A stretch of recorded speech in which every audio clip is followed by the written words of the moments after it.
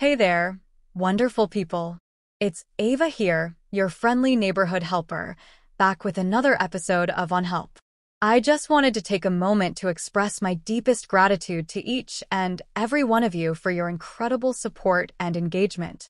Your questions, comments, and likes truly mean the world to me. So, thank you from the bottom of my heart. Now, diving right into today's question, we have a puzzler from one of our awesome viewers. Let's call them. Hmm, let's go with Sam. Sam writes, Since I received my new iPhone, I started getting a Postmaster email to a closed Outlook account. Every time I get an email to my Google account, I get a Postmaster message from a closed Outlook account that goes to my trash folder. How do I stop getting the Postmaster messages?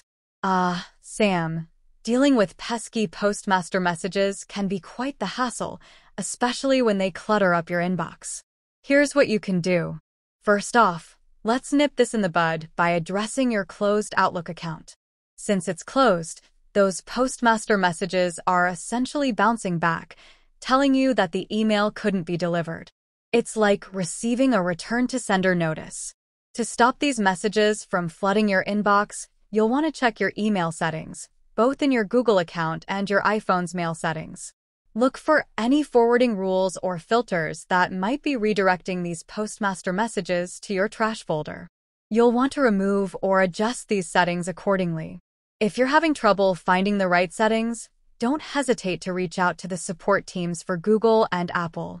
They're usually wizards at troubleshooting these kinds of issues and can guide you through the process step by step. Remember, folks, there's no such thing as a silly question. Whether it's tech troubles, life advice, or anything in between, I'm here to help. So, keep those questions coming. Drop them in the comments below or shoot me a message. Well, that's a wrap for today, my incredible helpers. I want to extend a massive thank you to all of our subscribers. If you haven't already, be sure to hit that subscribe button and join our amazing community. I can't wait to tackle more questions and lend a hand in our next video. Until then, take care, stay curious, and keep spreading those good vibes. Catch you later.